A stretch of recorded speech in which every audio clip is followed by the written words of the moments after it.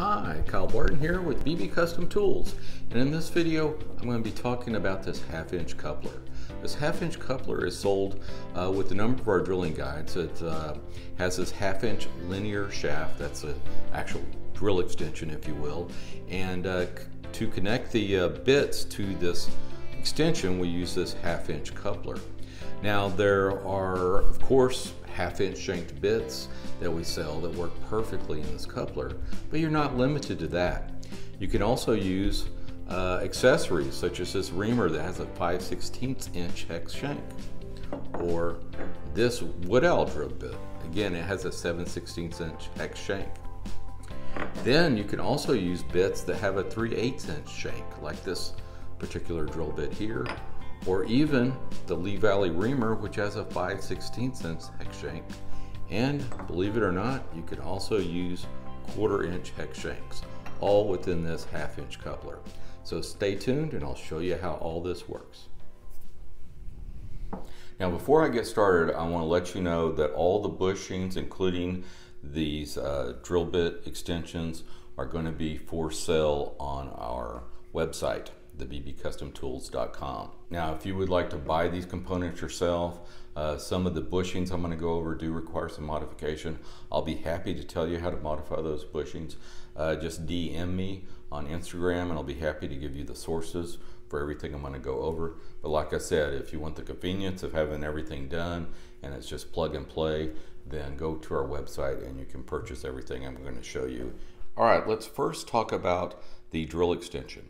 Now the drill extension is made up of this linear shaft. Um, it is made up of 1566 carbon steel. It has a hardness of C60 on the Rockwell scale and it has a tolerance as far as straightness of 0.002, so two thousandths of an inch. Now it's mated to this half inch coupler and this coupler is basically a inch and a quarter inches long so um, basically the shaft extends in here 3 eighths of an inch and that has two set screws. These set screws are about 3 eighths of an inch from each end and they actually um, hold on to the bit and this one holds on of course to the shaft. Now one of the things um, I've done, I've, uh, this secures real well to shaft and bits.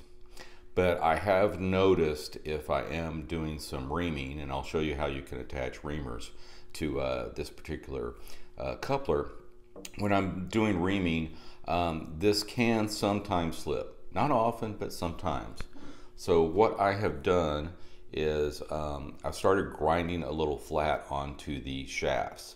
And this flat is basically 5 eighths of an inch long and about 3 sixteenths of an inch wide. And um, I've done this on uh, this particular shaft here. And I've also done this on some of the uh, bits I use. This is an old uh, bit I've had for a number of years and I think hopefully you can see here that the little set screw has created little uh, divots in here and raised a little burr. I've had to sand those back so I finally got tired of that and actually ground a flat in there to capture the set screw.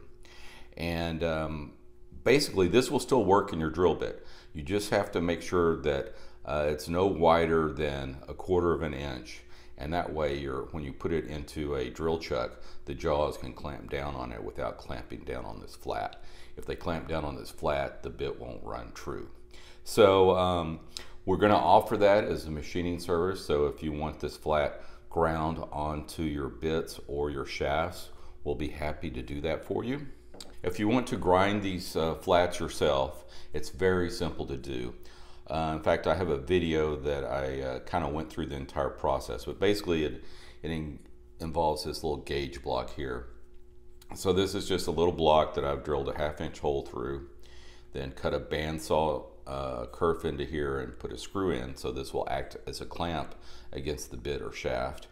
And uh, then I relieved half of the hole here and uh, that way you can go ahead and now this is a little bit chewed up here It's because I've actually uh, switched grinding wheels I was using. So um, that got kind of uh, modified a bit, we might say.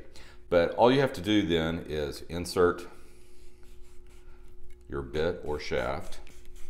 I'm inserting this bit here and then clamp it down here and you'll be able to run this into the grinding wheel and uh, grind that little flat. Now you want to put a straight edge on your um, grinding platform so that you can, you know, make sure that this is all straight. And just go in real easy and gentle until you have that flat there that I said is about 3 sixteenths of an inch wide, but no wider than a quarter of an inch. All right, well now let's move on to um, what types of bits you can actually fit into this half inch uh, coupler here. So first off, of course, you can fit in your half inch shanked bits. That's not a problem. That works very well. Um, the other thing you can do without any adjustments is use 7 16 inch hex shank bits. So this is a, a Wood Owl bit that has that 7 16 inch hex shank and you can simply tighten that up in there and you're good to go. Let me show you how well that runs.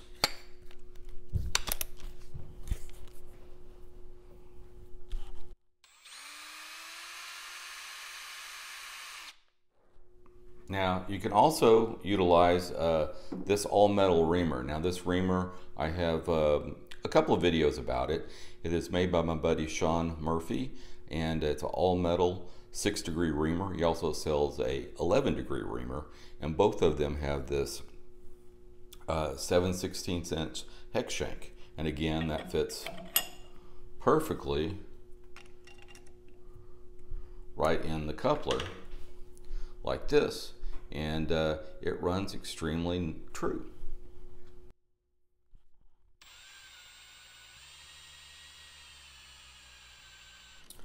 All right, now let's talk about what you can do with this bushing here. Now this bushing is a 3 8 inch to half inch bushing. So the inside diameter is 3 8 of an inch and the outside diameter is a half inch. It also has this convenient hole in it and that will allow the set screw to go through and um, then rest against the bit securing it into the coupler. Um, this is actually a little longer. I actually have to cut this down and file it down a little bit to make sure that this hole is centered right there on the set screw. And uh, the way it works is it just fits right in like this. And then you can use 3 8 inch shanked bits. So they just go in just like this and they run very nice and true.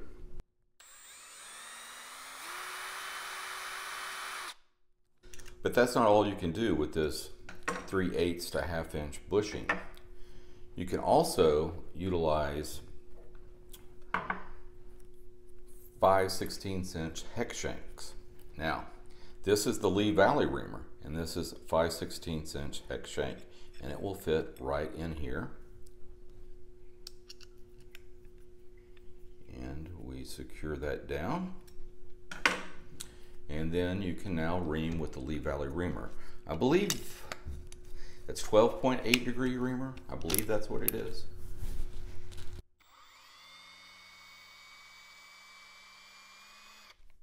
So those are just some of the things you can do with the 3 8 inch bushing. And uh, the way you remove it, let's go ahead and back your set screw out. Then take the end of your Allen key and just grab right there where that hole is and it comes right out. Okay, next up is this quarter inch hex extender. This is a um, little bushing that's made to join two quarter inch hex rods together and it has uh, two set screws here to uh, to secure the rod or in our case the quarter inch bit fits right in there now the great thing about this is the outside diameter of this thing is a half inch so it will fit inside the half inch coupler now I have uh, put a flat on the on these because this is kind of mild steel and that set screw will definitely raise a burr on there and you have to file these set screws down just a bit to make sure that they don't interfere. So once the uh, bit is secured into the hex extender, just go ahead and insert that in here. Tighten it up, and you are now ready to go.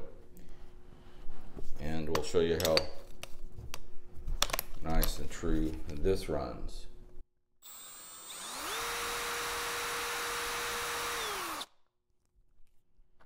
As I said, we will have all of these items at our website for sale.